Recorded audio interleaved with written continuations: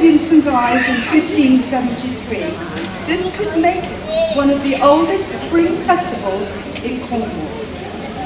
In living memory, the oldest citizens of St Ives can recall when May Day excited them, beginning with the gathering of the flowers to make the garlands, blowing horns, then to dance around the maypole. Reported in St Ives Weekly Summary in 1890, that could be an early version of the Times Herald. This May Day was ushered in with the usual blast of trumpets, a most hideous and unmusical sound, waking one out of one's sleep. it was later reported that thanks to the vigilance of the police, stealing of flowers was not so extensive that year. Is to celebrate the summer is a coming. So it's time for us to start celebrating and hope perhaps we can have some summer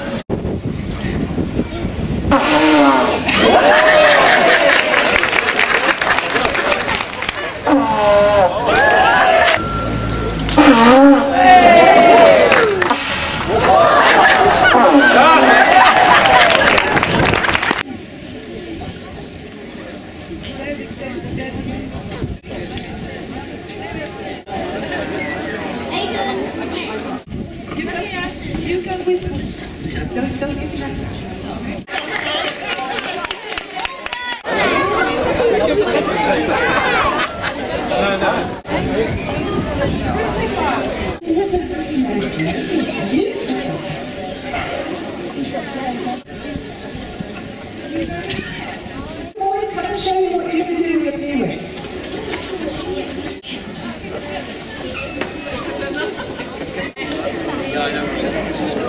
and